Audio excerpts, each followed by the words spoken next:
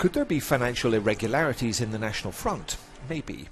Olaf, the European Anti-Fraud Office, is to investigate. Following an inquiry by Parliament's administration, President Schulz has called on Olaf to probe claims against 20 MEP assistants in the party.